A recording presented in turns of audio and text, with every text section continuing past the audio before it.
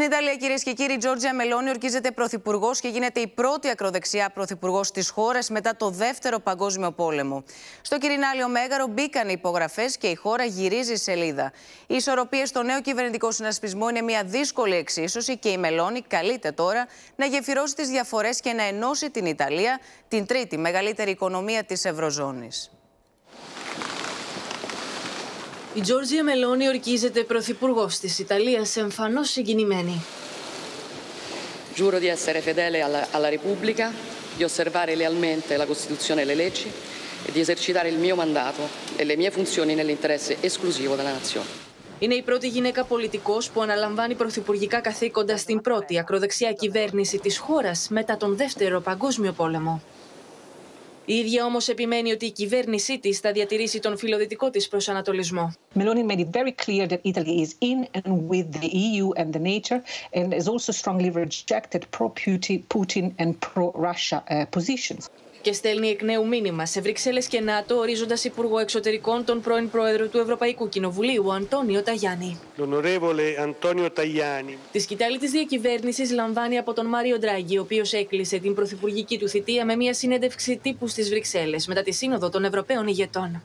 Come dicevo, abbiamo cercato e stiamo cercando ancora oggi, tutti i ministri ed io, di assicurare una transizione il più, come dire, il più serena possibile. Σύμμαχή της είναι το κόμμα του Σίλβιο Μπερλουσκόνη Φόρτσα Ιτάλια και η ακροδεξιά λέγκα του Ματέο Σαλβίνη.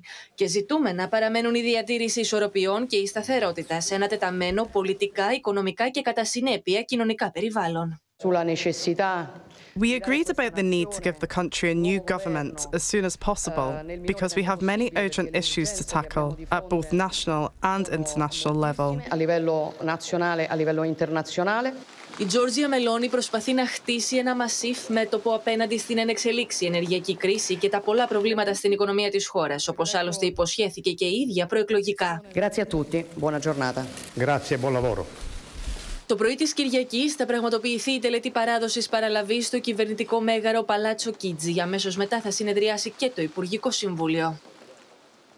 Όπως ακούσαμε και στο βίντεο, είναι πολλά τα ζητούμενα. Είναι μια δύσκολη εξίσωση. Αύριο ο Μάριο Ντράγκη θα παραδώσει το παραδοσιακό καμπανάκι στα χέρια της Τζόρτζια Μελώνης στην τελετή παράδοσης παραλαβής και θα γίνει και η πρώτη συνεδρίαση του Υπουργικού Συμβούλου. Πάμε τώρα με τη βοήθεια της Αθηνάς Παπακώστα να δούμε πώς διαμορφώνονται πλέον οι συσχετισμοί στο νέο κυβερνητικό σχήμα, η ακτινογραφία της κυβέρνησης. Λοιπόν, η κυβερνητική ομάδα απαρτίζεται από την Πρωθυπουργό, 24 υπουργούς και έναν υφυπουργό παρά την Πρωθυπουργό. Έξι μόλις υπουργοί είναι οι γυναίκες. Εννέα ανήκουν στα αδέλφια της Ιταλίας. Πέντε στη Λέγκα του Ματέο Σαλβίνη. Άλλοι πέντε στη Φόρτσα Ιτάλια του Σίλβιο Μπερλουσκόνη και επιπλέον πέντε είναι τεχνοκράτες. Τώρα, τα σημαντικότερα υπουργεία. Ξεκινάμε από το Υπουργείο Εξωτερικών, όπως ακούσαμε και στο βίντεο. Αυτό πηγαίνει στον Αντώνιο Ταγιάννη. Τον γνωρίζουμε τον Αντώνιο Ταγιάννη. Είχε διατελέσει πρόεδρος του Ευρωπαϊκού Κοινοβουλίου. Τώρα, το Υπουργείο Οικονομικών είναι στα χέρια του Τζαν Κάρλο Τζορτζέτη. Αυτός έρχεται από τη Λέγκα ε, του Σαλβίνη και τον έχουμε επίσης γνωρίσει καθώς είχε διατελέσει και υπουργό στην κυβέρνηση του Μάριο Ντράγκη. Draghi. Τώρα, στο Υπουργείο Εσωτερικών. Εκεί θα βρούμε το δεξί χέρι του Ματέο Σαλβίνη. Πρόκειται για τον Ματέο Πιαντεντόζη.